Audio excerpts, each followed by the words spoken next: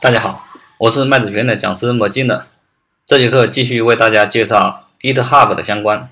我们先看课件，在远程这一块，我们讲到的 Git Remote、Git Push、Git Clone，以及上节课讲的两个比较关键点 Git Fetch 和 Git Pull。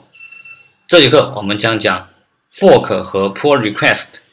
对于 Fork 这个单词本身的意思就是叉子的意思。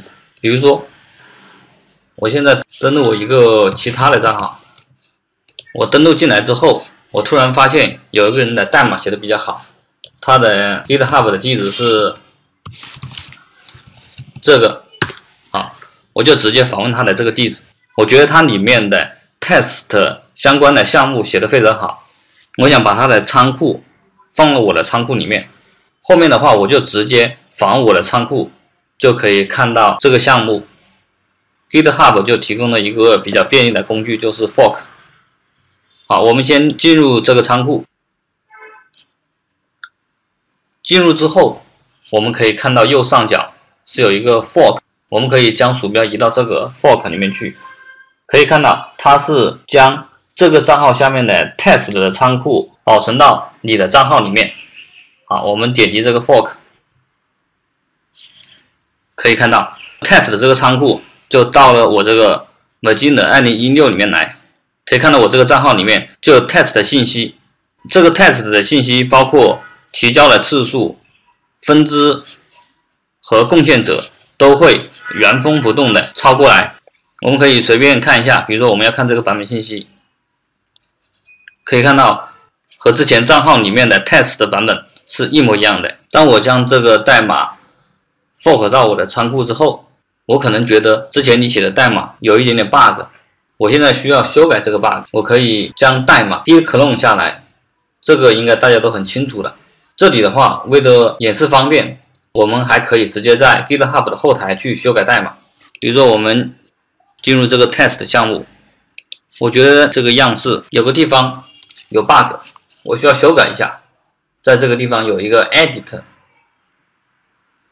然后我们在里面去添加点什么内容，比如说我要为你这个 body 添加一个样式，好，比方说这个时候我修复了你的 bug，然后我就需要将我修改的内容提交上来，我们直接将这个修改提交到 master 分支上面去，当然你也可以创建新的分支去提交。我现在提交我的修改，然后这一块大家可以填写自己要修改的内容。我们现在直接点提交修改。如果大家不填写的话，它会以自己默认的字符串帮你填写信息。啊，我们可以看到我已经提交了这次修改。大家也可以看到这个文件是有两个贡献者，一个贡献者是原作者，也就是我 fork 过来的那个账号，另外一个作者就是我自己。当我觉得我将原作者的 bug 给修改好之后，我可以通知原作者，他有一个 bug，并且我帮他修改好了。看他是否需要我这个修改的 bug，可以通过，也就是我们后面所讲的 pull request，你去通知。好，我们点击这个 pull request，创建一个新的 pull request，然后这里它会列举我们 fork 下来仓库的变化，大家要记住。Pull request 的一定是你 fork 别人的项目的时候才会存在 pull request，否则是没有的。所以它这里会自己帮我们列举出来我们 fork 项目的变化，并且我们在这里还可以修改选择 pull request 的分支。因为我们刚才是在 master 分支上面的修改，所以 pull request 的时候也应该选择我们 fork 这个账户的 master 分支。这里会显示我在它的版本。修改的信息，另外这下面会显示修改的详细信息，在 style 点 css 里面添加了一个 body 的样式。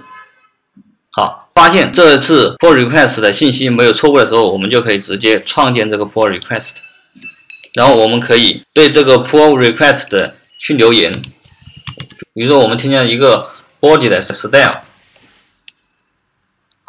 当我们选好留言之后。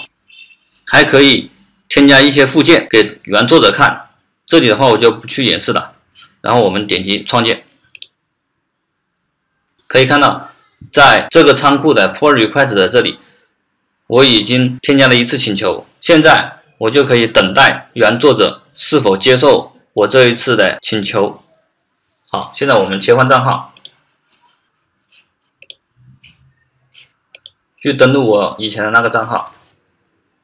当我们登录的时候，在第一条消息就会发现。Virgin 二零一六开启了一次 Pull Request 的请求，这个 Pull Request 的请求包括一次提交、三个额外的添加和零个删除。我们现在就可以在这个具体的仓库里面去查看它修改了哪些内容。可以看到他给我的留言是增加的 Body 的样式，他所对这个项目修改的版本信息。就是在这个下面，然后在这里我就可以选择我是否需要合并它的 pull request。如果我觉得它的这次修改对我有用，那么我就可以直接合并；如果我觉得它没用，那么我就可以在这里留言来关闭这一次 pull request，或者说我直接在这里评论，先不去处理。好，这里的话，我觉得它的确修改了我的 bug。我需要合并这一次 pull request，所以我就可以点 merge pull request。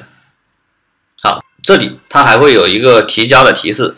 其实我们合并别人的 pull request，也就相当于我们修改自己的代码，并将自己的代码提交。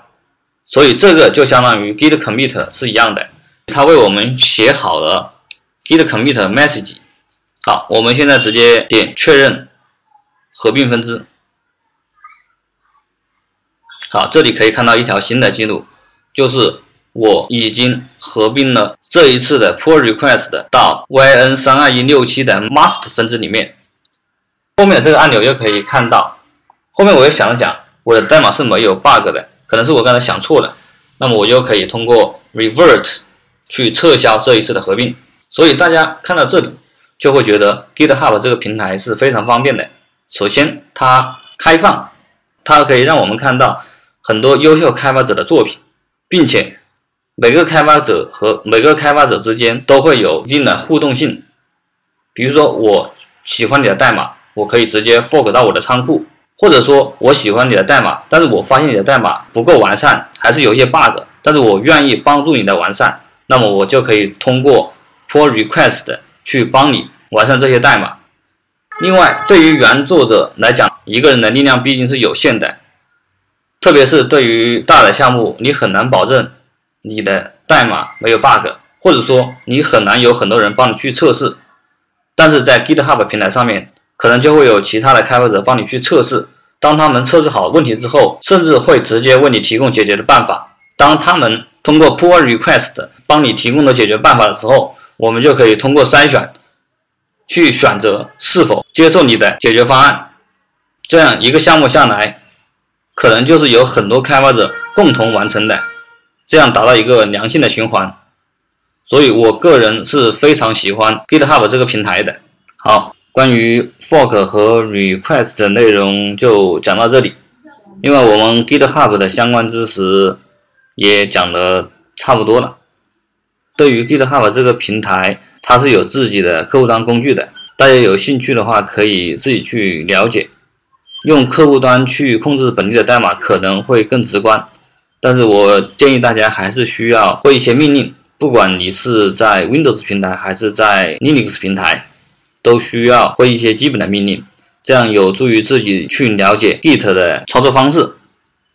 后面的课程我会具体的为大家介绍一些在实际的项目中运用 Git 的一些小技巧。好，这节课的内容就是这些，谢谢大家。